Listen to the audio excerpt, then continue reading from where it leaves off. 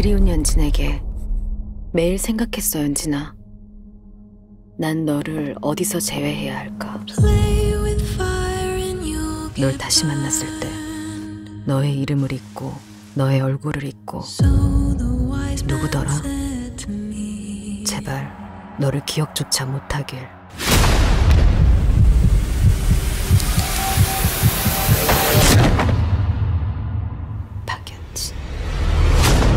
남의 고통에 앞장서던 그 발과 나란히 걸은 모든 발.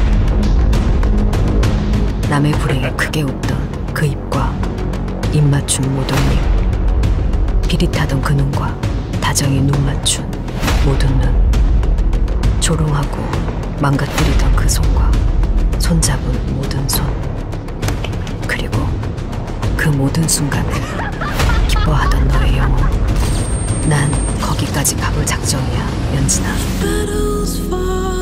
신명나게 가르쳐 줄게요.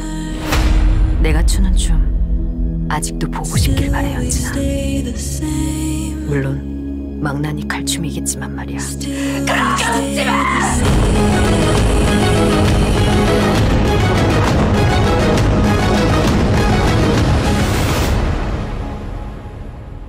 죽이고 싶었던 나의 연진아. 이게